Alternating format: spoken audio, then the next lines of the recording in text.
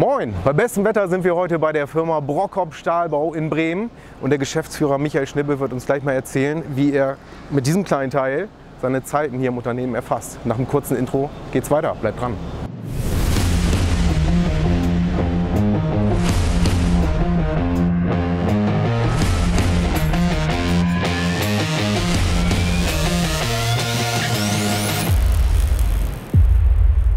Die aktuelle Lage ist, wir sind für ein Dreivierteljahr ausgelastet, eigentlich wie alle Handwerksbetriebe im Moment.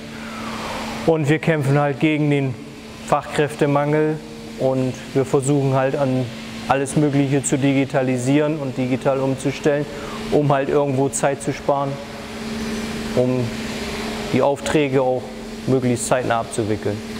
Wir haben eine Software zur Projektmanagementplanung und versuchen halt komplett digital umzustellen. Jetzt der letzte Schritt ist halt äh, Rechnungen digital anzunehmen und auch zu versenden im Zugpferdformat.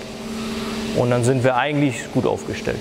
Wir haben jetzt seit drei Wochen eine Plasmaschneidanlage, einfach aus dem Grunde, weil wir gesagt haben, wir können mit der Plasmaschneidanlage drei Mitarbeiter einsparen in der Fertigung. Die können jetzt in der Zeit dann was anderes tun. Somit haben wir dann den Fachkräftemangel etwas entgegengewirkt.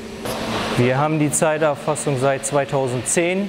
Die werden komplett in der Fertigung genutzt. Laufwege hat man natürlich nicht mehr zum Terminal.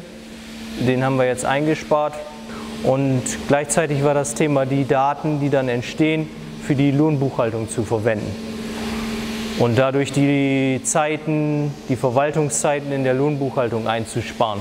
Die Nachkalkulation ist dann das nächste, äh, was dadurch entstanden ist, dass die Zeiten gleichzeitig in die Projekte geflossen sind und somit hat man dann ein Komplettpaket.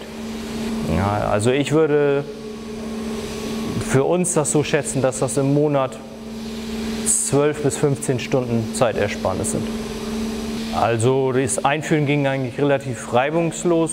Es haben sich eigentlich alle darauf gefreut, dass sie nicht mehr schreiben müssen und nichts mehr so auf Papier bringen müssen oder weniger.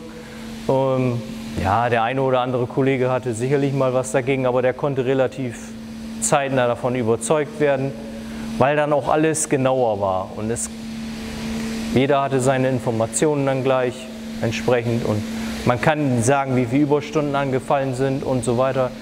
In einem Klick hat man gleich die Übersicht, was bei Rückfragen auch. Also besser geht es eigentlich nicht.